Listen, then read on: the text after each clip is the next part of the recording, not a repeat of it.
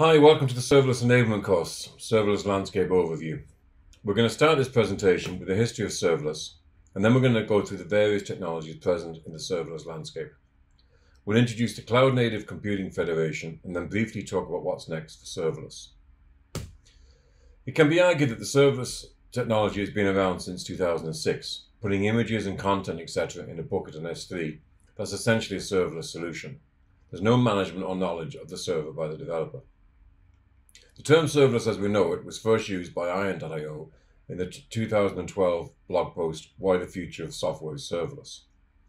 The serverless space really exploded with the introduction of AWS Lambda in 2014. Since then, we've seen the introduction of serverless solutions from all the major cloud providers Google, Microsoft, and IBM.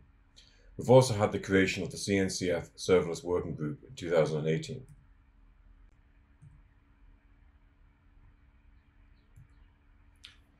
When we started looking at content for this presentation, we identified a source of statistics for serverless technology use in the industry.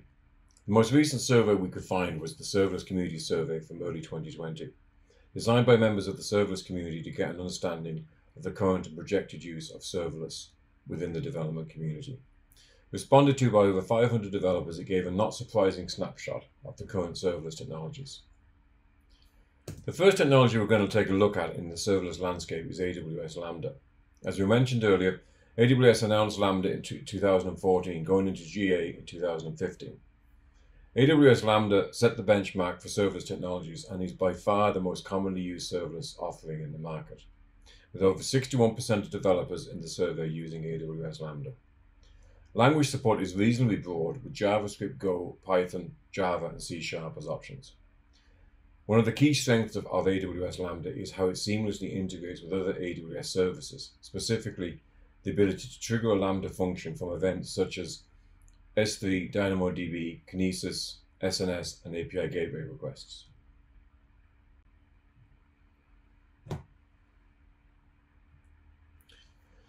Microsoft announced Azure Functions in March 2016.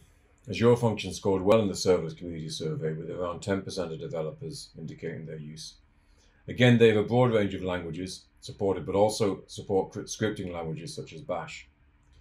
Event triggers follow a similar path to AWS Lambda, with triggers from Azure services such as storage blobs, Cosmos DB, HTTP requests, message queues, and scheduled events. One of the key differentiators of Azure Functions is the underlying OS, in this case is Windows, as opposed to AWS Lambdas. Google launched Cloud Functions in March 2017. Google Cloud Functions provide a more limited set of language options, JavaScript, Go, and Python. Google Cloud Functions scored low on the survey, with just under 7% of respondents indicating use. Google Cloud Functions again follow a similar path for event triggers. One key differentiator is the integration with Firebase, opening up Cloud Functions to Firebase mobile events. IBM Cloud Functions launched in 2016, providing a broad set of language support, including Ruby. Very little usage according to the serverless community, around 0.05% of developers. Based on Apache OpenWhisk, container-based, and can run on-premise. So a more limited set of triggers when compared to AWS and Azure. Knative is an open source community project which adds components for deploying, running, and managing serverless cloud native applications on Kubernetes. Version 0.1 of Kubernetes was released in 2018. Red Hat Serverless released for general availability in April 2020 with OpenShift 4.4. Extensive language support, essentially anything that can run in a container can run as Knative. And according to the serverless community, there's a, around 1.5% of developers said they use Knative. There's a wide, range of triggers, specifically Kafka and sync sources. Portability is forefront of Knative, whether on-premise, in the cloud, or in a third-party data center.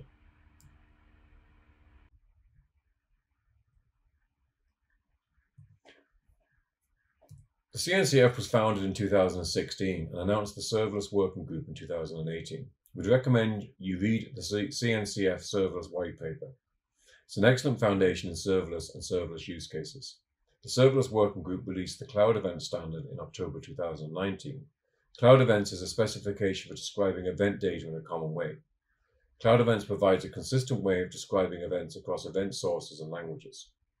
Cloud Events provides SDKs in languages such as Go, JavaScript, Java, C Sharp, and Python. Cloud Events is supported by Knative Events, Azure Event Grid, and Oracle Cloud. In addition to developing the Cloud Event standard, the CNCF has also published the CNCF Serverless Landscape Infographic. This is an interactive way to look at the various technologies making up the serverless landscape.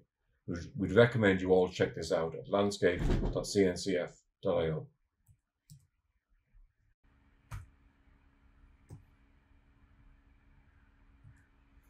The CNCF have defined what serverless means and two personas involved with serverless projects.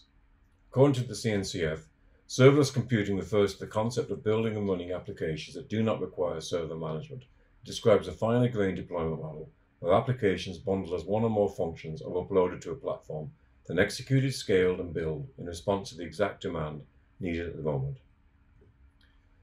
There are two primary serverless personas the developer writes code for and benefits from the serverless platform, which provides them the point of view that there are no servers nor that their code is always running. The provider deploys the serverless platform for an external or internal customer. Servers are still required to run a serverless platform. The provider will need to manage servers.